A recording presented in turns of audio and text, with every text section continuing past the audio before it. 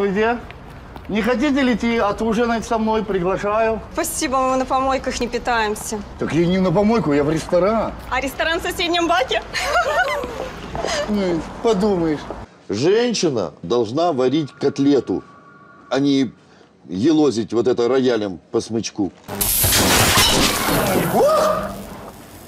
А? Вот смотри, пример. Все женщины красят губы, красят? Допустим. Ну вот. А любят они чем? Ну, как говорят? Любят ушами? Ушами. Да так надо уши красить. Двойной удар. Я сам сказал! Отпустите меня!